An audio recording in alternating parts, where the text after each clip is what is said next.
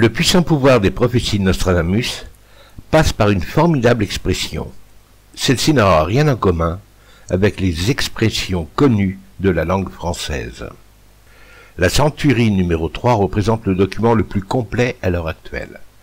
Nostradamus affirme dans les quatre premières centuries qu'il entend et voit son décrypteur. Alors j'ai agi en conséquence, c'est-à-dire j'ai décrypté cette centurie à voix haute, afin que Nostradamus constate mes erreurs. Six années ont été nécessaires pour réécrire cette troisième centurie. Celle-ci est révélatrice de nombreux faits. En outre, elle révèle des personnalités de notre période actuelle. Ces personnalités sont inscrites correctement, ou presque correctement. Ceci a été fait afin de pouvoir installer des dates dans la centurie. De nombreuses fois, j'ai voulu abandonner ce décryptage. Et à chaque fois, Nostramus inscrit des vérités qui me sont personnelles. Dans cette vidéo, je vous présente une analyse qui ne laisse aucun doute quant au message. Pour moi, ce message est un message d'encouragement à poursuivre cette quête. Ce sera la finesse d'expression de Nostradamus. Laisser entrevoir dans un mot une situation qui sera sans équivoque. Les textes de Nostradamus sont construits à partir d'une grande finesse d'expression qu'il fallait découvrir et apprendre par cœur. Comme nous allons le découvrir plus loin, ceci aura pour but d'éclairer les nombreux chercheurs qui travaillent sur les textes de Nostradamus et qui m'écrivent. Le livre de la troisième centurie est le plus terrible et le plus révélateur de tous les livres. La restitution des textes de Nostradamus nous appartient à nous tous. Elle n'appartient pas à une seule personne pour faire de l'argent. J'ai fait ce décryptage avec la plus grande rigueur, tout ce qui m'a été possible. Nostradamus désire prévenir d'abord notre pays de France, et ensuite le monde entier, car de nombreux événements concernent en grande partie la France. Donc ces textes sont à nous tous. Pour cela, je mets librement l'accès à la troisième centurie en version numérique. Vous pourrez la télécharger gratuitement. Ce livre fait environ 500 pages. Le lien se situe après l'analyse démontrant la valeur des révélations et l'interdiction morale d'abandonner le décryptage. Si vous désirez m'aider ou bien me soutenir, voici l'adresse pour le faire. Même un euro sera le bienvenu. Je vous remercie infiniment pour votre don futur. Vous pouvez m'aider également sur le site www.nostradamuspb.fr. Vous pouvez trouver mes livres au format tablette à www.fedimlivre.fr et vous trouverez toutes les analyses ainsi que les livres sur www.nostradamusbp.fr. Je me suis fixé comme objectif d'essayer de commencer la construction d'un abri pour une vingtaine de personnes d'ici la fin de l'année. Je regroupe sur Facebook au site Terranova Var toutes les personnes qui désirent entreprendre quelque chose. Elles pourront laisser des conseils sur cette page et se réunir entre elles, car c'est le but. N'hésitez pas à inscrire votre département. Voici le quatrain 96 de la troisième centurie, où se trouve un mot dissimulant l'interdiction d'arrêter le décryptage. Chef défauffant aura gorge coupée. Par le ducteur du limier et l'ébrier, le fait patré par ceux du mont Tarpé, Saturne en Léo XIII, 2 février. Le mot se dissimule dans la troisième ligne du quatrain, le fait patré par ceux du Montarpé. Voici ce mot. Le mot est écrit en jaune, c'est le mot patré. Bien souvent, Nostramus se servira de la phonétique des lettres seules. Ensuite, des groupes de lettres, plus les pieds poétiques du mot et ensuite du mot entier, à l'endroit et à l'envers. Mais Nostramus, pour s'exprimer, utilise en même temps des synonymes, comme nous allons le découvrir un petit peu plus loin. Les synonymes vont permettre au mot d'avoir une nouvelle orientation et de compléter ainsi la phrase obtenue. Voici comment nous devons décomposer le mot patré. Nous avons P, plus loin nous avons A, ensuite hâte, ensuite pâtre, ensuite a, ensuite attrait, ensuite tr, ensuite R et ensuite Ré. Voici les synonymes de pâtre. Berger, pasteur, pastoureau, chevrier, porcher, bouvier, muletier. Bouvier est facile à remarquer, c'est mon nom de famille, donc je suis bien obligé de le prendre en considération. Voici le principe des analyses. Nous constaterons que notre ami se sert d'une échelle de valeurs de la langue française qui n'est pas la nôtre actuellement. C'est à travers ces échelles de valeurs qu'il fallait définir que nous pouvons comprendre l'écriture secrète de Nostradamus. Ainsi, le P tout seul aura une prononciation enfantine de peu pour indiquer le mot pouvoir. Le A sera le diminutif du verbe avoir. Hâte sera compris dans le sens de se hâter, être rapide. Pat sera compris comme étant le diminutif du prénom Patrick. Comme Nostradamus l'emploie très souvent dans les centuries, c'est plus facile d'écrire Pat plutôt que Patrick qui demande trois pieds poétiques. Pâtre, on se servira du synonyme pâtre pour identifier le nom Bouvier. A sera à nouveau le diminutif du verbe aboir. Attrait, ce sera le diminutif ou la phonétique du mot attrait. TR ou terre sera le diminutif du mot terre avec apocope et syncope des lettres. Le R sera l'air des mots, ça sera la lettre pour le mot. Ré indiquera les notes, les notes de musique, mais ici ce sera compris comme étant des notes écrites. Voici donc l'analyse complète du mot patré, tel que nous devons le lire. Voici le récapitulatif de ce que nous avons découvert dans l'analyse précédente, écrite en vers. Pouvoir avoir rapidement patte bouvier, avoir attrait terre, air des mots, note. En langage de notre époque, pouvoir avoir rapidement Patrick Bouvier en ayant l'attrait de la planète pour l'air des mots et les notes. Bien évidemment, ce mot nous donne une longue phrase, mais en vérité, le mot patré s'unit avec la ligne du quatrain, à l'endroit et à l'envers. Nous allons découvrir le dialogue obtenu avec cette ligne du quatrain à l'endroit et à l'envers contenant le mot patré. Voici la ligne décryptée à l'endroit le fait patré par ceux du Montarpé. Les usages feront avoir ici même cette épée du pouvoir Patrick Bouvier. Le pâtre aura rapidement l'air des mots et l'épée par cet art reçu. De cette connaissance, avoir la coutume du devoir pour le monde, l'avoir nettement en tête. Tardivement cet art de l'air des mots sera l'épée de ce pouvoir indiquant la durée de l'existence des hommes. Je laisse les usages faits qui indiqueront l'époque. Ici par tes pouvoirs les avoir rapidement Pat Bouvier le pâtre, l'attrait de la terre sera sur l'air des mots de ces notes. Voici maintenant la ligne décryptée à l'envers, le fait pâtré par ceux du Montarpé. L'épée de ce pouvoir sera en tête tardivement, par cet art qui sera remis au monde, en ayant ce devoir fait. Ce sera la déception de savoir, et pour les hommes sera cette connaissance. Il faut savoir séparer cet art dont tu es paré, Patrick. Tu pourras rapidement être le pâtre, l'attrait de la terre sur l'air des mots et les notes seront tes thèses sales. De ces notes sera indiquée la durée de la vie. Les armes péteront en été, seront des pétards. Les armes sur le monde, ce sera la grande déception. La durée de la vie sera indiquée par le pouvoir de l'air des mots, rapidement en tête en tenant le nom de l'homme qui mettra ce mouvement, qui aura la déception de savoir tout cela. En ayant cette connaissance râpeuse, sera la peur de heurter l'opinion.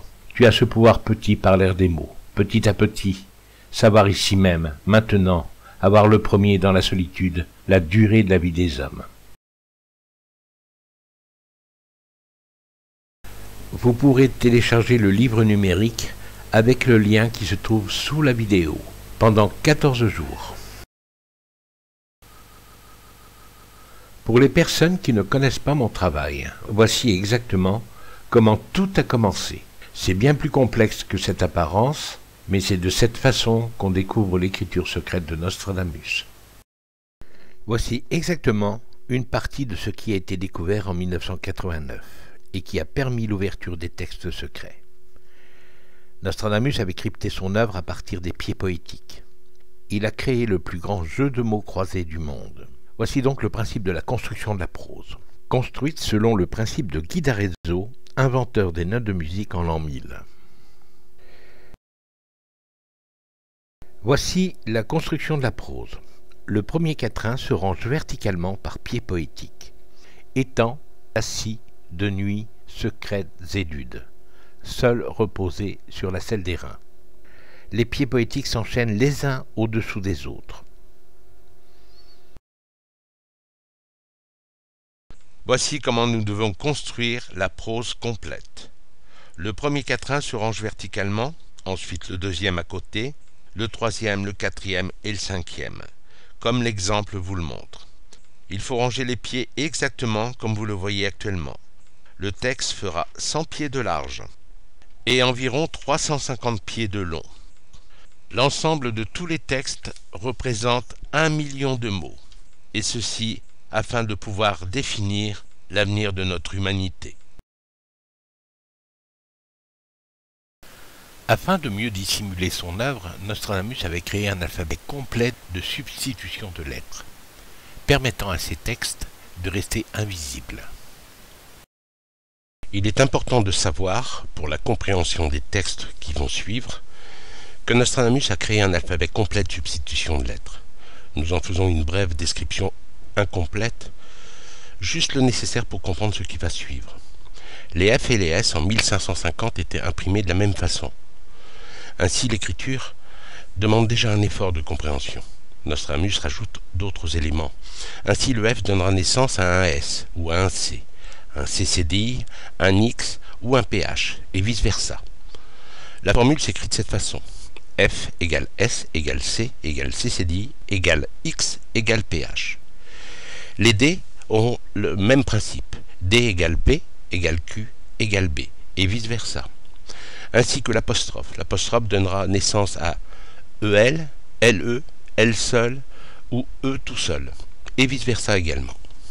Les U seront V. Égale U et vice-versa.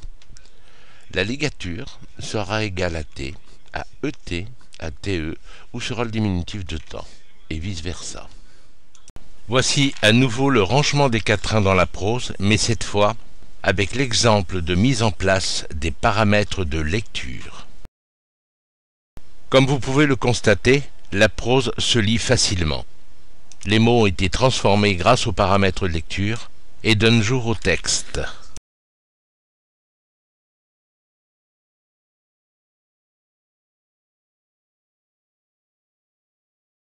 Dans la ligne numéro 9, nous pouvons noter le nombre de mots utilisés pour la création de l'ensemble de tous les textes.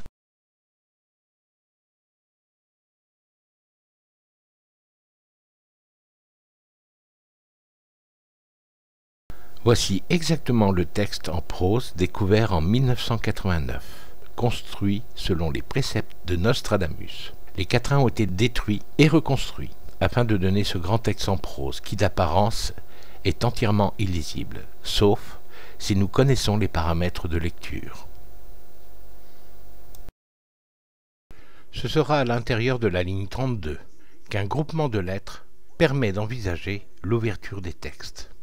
Le prénom Patrick est entré en France accidentellement en 1942. Ce prénom est d'origine irlandaise. Il est écrit phonétiquement et en 1989, celui-ci ne représentait pour moi qu'un grand hasard, dû au jeu des mots de Nostradamus. De plus, il était impensable que Nostradamus puisse s'adresser à quelqu'un d'avenir en l'appelant par son prénom. Or, la suite des textes va nous prouver le contraire. Si j'avais été nommé Maurice ou Albert, jamais je n'aurais découvert cet élément permettant l'ouverture des textes.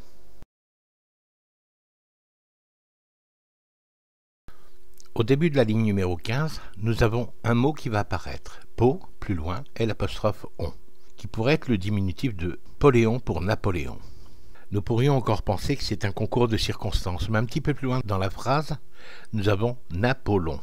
Donc là, c'est certain, Nostradamus parle de Napoléon. Les lignes qui suivent, 16 et 17, concrétiseront la version de Napoléon et une partie de son existence décrite.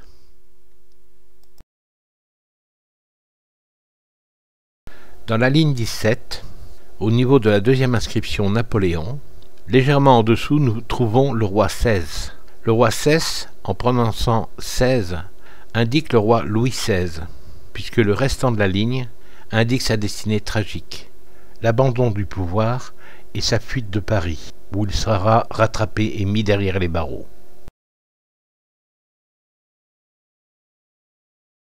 Nous retournons à la ligne 32, cette ligne nominative qui a permis l'ouverture des textes, afin de découvrir ce que renferme cette ligne et quels sont les conseils éventuels que Nostradamus nous donne.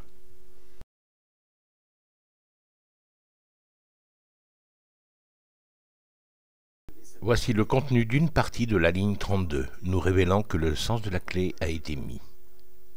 Tu es, Patrick, tu feras ce pouvoir long et lourd souci. Il a mis ici le sens de la clé.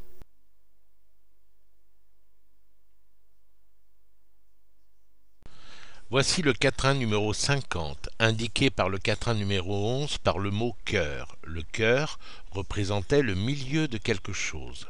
Et le milieu de quelque chose, c'était le milieu de la première centurie, qui comporte 100 quatrains. Donc le milieu, c'est le quatrain 50. Voici la révélation de ce quatrain.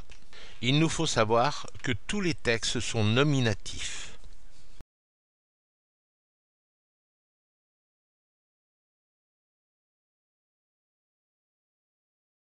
Voici la sélection des pieds et des lettres à fonction de mots du quatrain 50, la première ligne.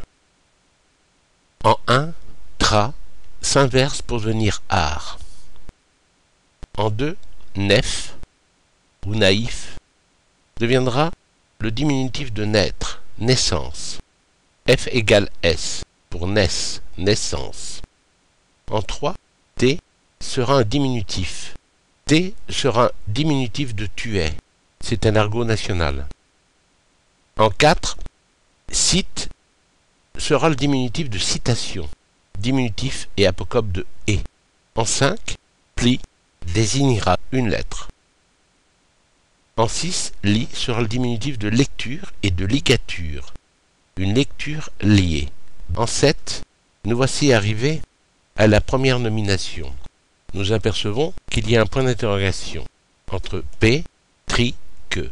Ce sera la phonétique de Patrick. En 8, ti, ancien français, désignera tu. En 9, a sera le synonyme du verbe avoir. En 10, qu sera le diminutif de code, ancien latin. En 11, a sera également le verbe avoir. En 12, l apostrophe de sera le diminutif de aider, de l'aide. En 13, DE sera 2. Et en 14, 2DE sera au même titre que BE en ancien français désignera Dieu. Voici donc la sélection des pieds poétiques et leur signification. C'est la première nomination qui est faite dans le quatrain numéro 50 pour bien montrer que les textes ont été découverts Voici le récapitulatif de la ligne 1 du quatrain 50. Synthèse Art naïf naître, tu es cité, citation, lettre, lecture liée. Patrick tu as code, avoir l'aide de Dieu. Et en langage de notre époque, de cet art naïf naîtra, tu es cité dans cette lettre, de cette lecture liée. Patrick tu as le code en ayant l'aide de Dieu. Avec le parlant, nous arrivons à un tournant décisif sur la façon de comprendre les mots de tous les textes. Cet exemple va nous permettre de définir le principe d'analyse à effectuer sur toutes les lignes des quatrains, à l'endroit et à l'envers, comme nous le verrons plus loin avec le quatrain numéro 50. Dans cette action, nous avons inscrit douze fois le pseudonyme Nostradamus.